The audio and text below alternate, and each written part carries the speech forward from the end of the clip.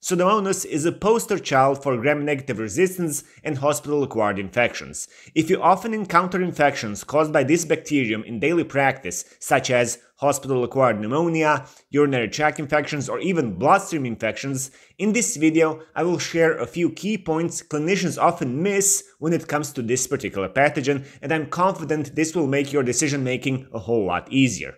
Pseudomonas is intrinsically resistant to most antibiotics, meaning even the so-called wild-type Pseudomonas that hasn't been exposed to antibiotics or healthcare in general is already resistant to most penicillins, cephalosporins, and many other drug classes. I won't go into the details of its resistance mechanisms, but suffice to say that its outer membrane is impenetrable for most antibiotics, and even if they get through, they will probably be promptly pumped out before they have a chance to exert their effect.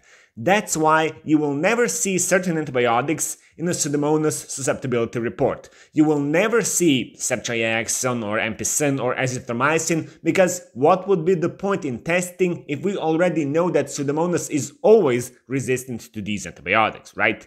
Which leads me to the second point. The antibiotics that at least have some chance of working against Pseudomonas are called anti-pseudomonal. So this pathogen is so significant in human medicine that we even classify antibiotics according to their ability to affect pseudomonas. But notice how I said a chance of working. That means that there are no guarantees with this bug. Since this bacterium is so adept at acquiring new resistance mechanisms on top of its intrinsic ones, it's hard to predict what it will be susceptible to, especially in hospitals.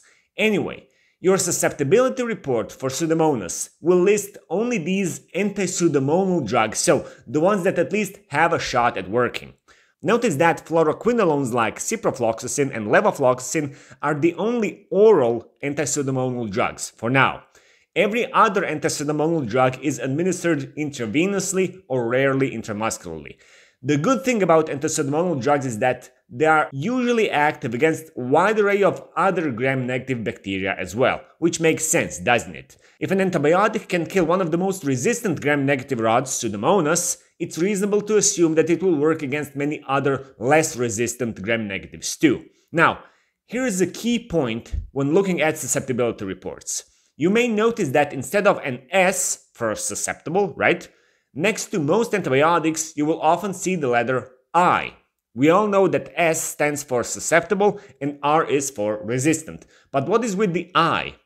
Normally, this would mean intermediate, which is better than R and worse than S, right? However, in the case of Pseudomonas, I simply means increased exposure. It serves to warn you that you should use a higher dose of a given antibiotic if you are targeting Pseudomonas.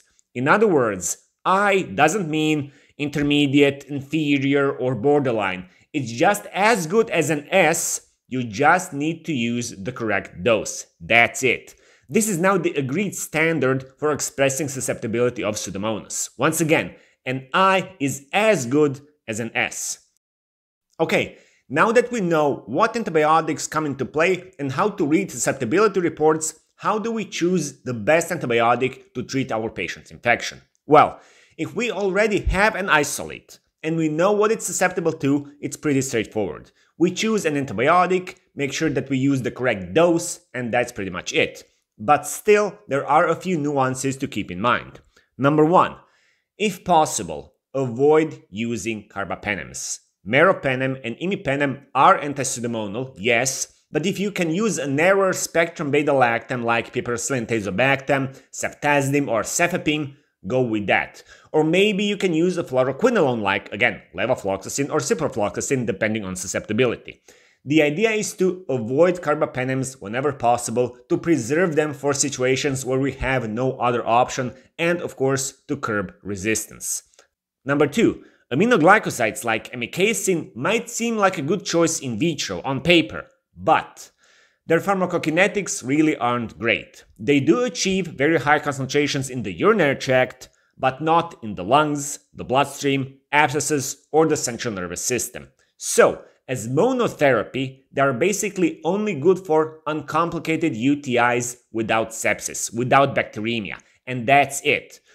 For all other infections, if you can, you should choose a different class of antibiotics like beta-lactams or fluoroquinolones. Okay, so much about Pseudomonas with known susceptibility, but what about the other scenario? When you do suspect Pseudomonas, but you don't have a microbiological confirmation yet, you don't know what this possible Pseudomonas is susceptible to. How do you choose the optimum antibiotic? Well, if your patient is seriously ill, meaning septic, it's prudent to start empiric therapy with two antibiotics from different classes that are most likely to work. So, based on previous isolates and their usual susceptibility, choose two drugs that are most likely to cover the suspected Pseudomonas.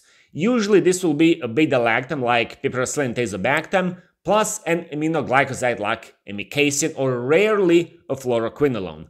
So you start with two drugs but once you hopefully isolate the pathogen and determine exactly what it's susceptible to, you will de-escalate to a single drug. There is no reason to continue with two drugs. Forget synergy, faster killing of bacteria and all that. The only reason to use combination therapy for presumed Pseudomonas infections is to increase the likelihood of coverage. And that's it.